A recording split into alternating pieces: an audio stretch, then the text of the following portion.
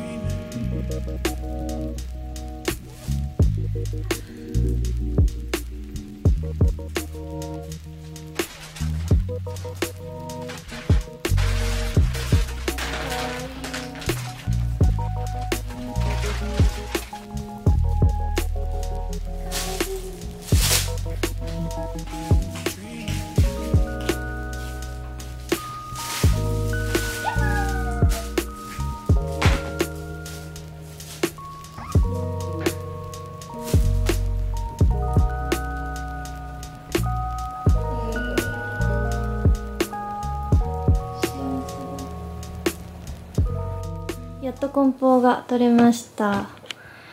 こんなにね丁寧に包まれてます。ここはさ床掃除しようまず。床掃除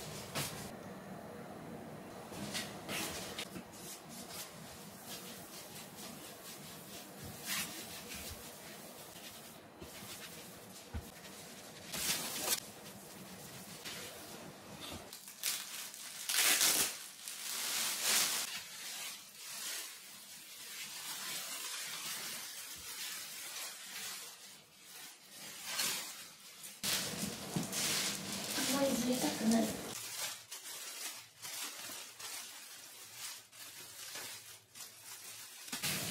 開封が終わりました。もうねあの思ってた色合い。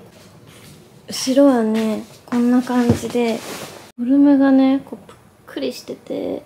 可愛いんですよ。このぷっくり感。ぷっくりしてるんですよね。なんか三段バラみたいな。可愛いいこのさフォルムが。可愛いいな。このシワが寄ってる感じもすごい可愛い。いこの背中を包み込んでくれるためのこの段差っていうんですかね。この折れ曲がり加減とそのシワの感じがめちゃめちゃ可愛いです。二人掛けのソファーにしなかった理由としては今のこの家が一時的に住んでいるだけで、まあ、近々引っ越しすると思うし、我々夫婦どっかに長く定住するっていうよりかは、割といろんなところに住んでみたいよね、みたいなタイプなので、今後もね、引っ越しが何回かあるかなっていうふうに思って、一人掛け用のソファーを2つ購入しました。こっちの質感と、ちの質感をねちょっと変えてみてます。リノゼはものすごいたくさんの生地から自分の好きな生地を選べるのでせっかくだったら色と素材どっちも変えてみようっていうことでこの2つにしました。後ろのベッドがですねニトリのシングルサイズのベッドを2つつなげていて2つでワイドキングサイズみたいなサイズ感になるものなんですけどそれと大体幅が同じだって感じですかね。大体同じぐらいの感じです。なのでまあある意味バランス取れてるかなっていう感じですかね。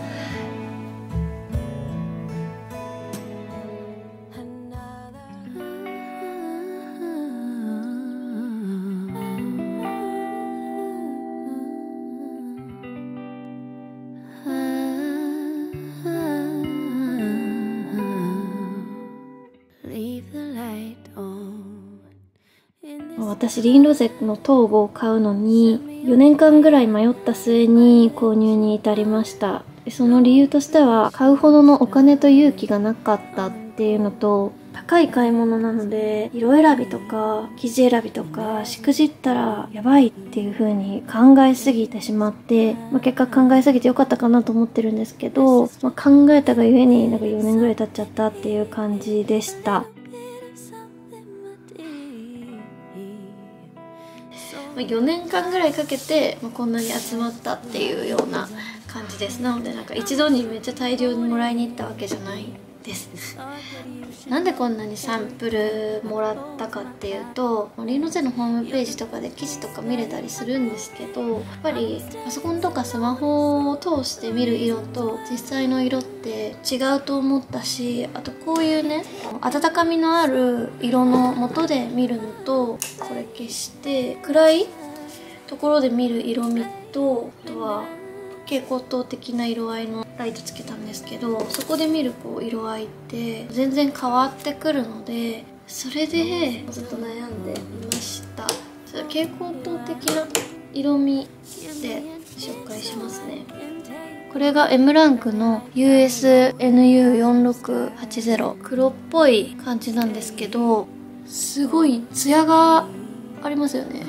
こすってもこすっても強いっていう感じですで全く毛玉にならないわけではないんですけど、まあ、だいぶ毛玉になりにくい素材と聞いてます。えっとこっちが L ランクの US4342 こっちが同じく L ランクの US6M08 こっちが US4396 でこっちが US43984396 がこれなんですけどちょっとやっぱり色味まあ一緒か。こんぐらい差がありますって感じですかね。でこれが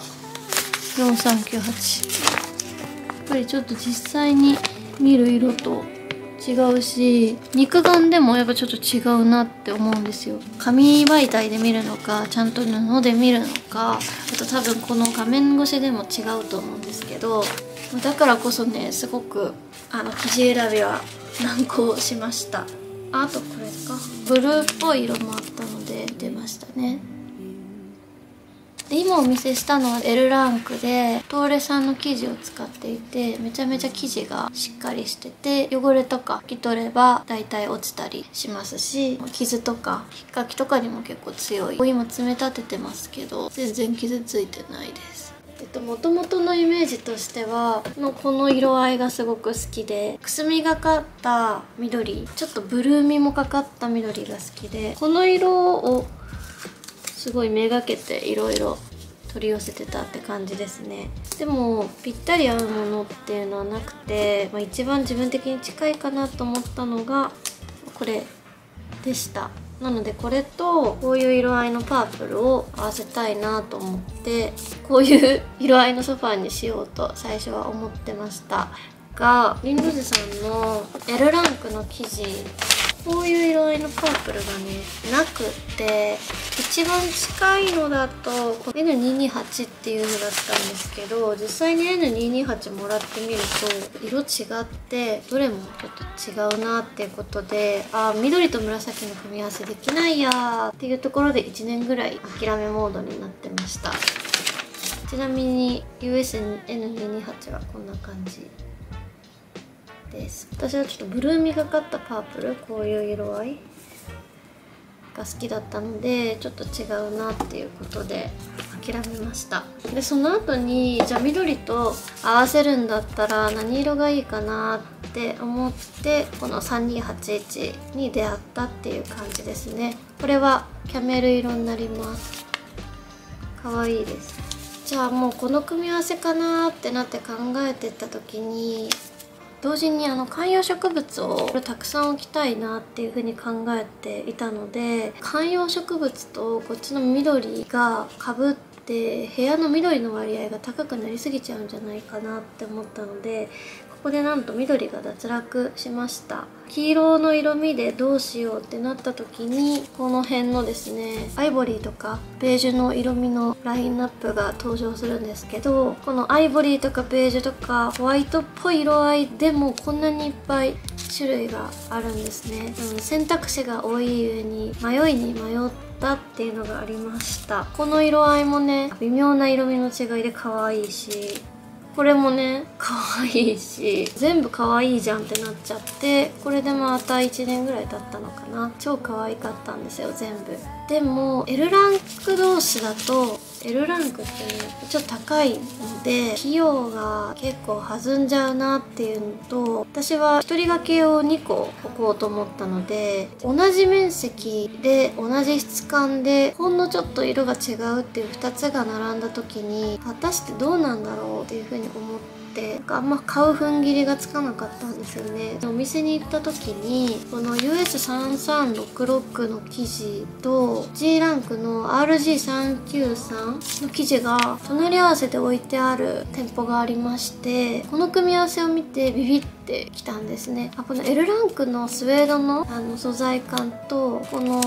G ランクのちょっとふわふわで奥に暗い色合いが混ざってて素材感が高い。素材も色味も違うっていう2つを組み合わせるとめっちゃ可愛いじゃんと思ってこの子が殿堂入りしました。もうこの子は買うってその時に決まりまして。じゃあ L ランクのスウェードどうしようってなってこれもねシックで大人っぽくてかっこいいんですけど私は最初に気に入ってたキャメルの色合いとこれを合わせる色味がちょっとプさ明るさもあり色味もあり奥にある黄色がかった色味と合うのかなと思ってこの組み合わせにしました。このさグリーンとねパープルとこの4色の組み合わせ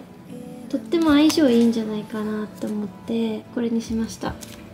この4色を一応自分の家のテーマカラーにしようと思ってこれからお部屋作りしていきたいなと思ってます。れからいろいろ撮っていきたいなって思うのでまた見てください。バイバーイ。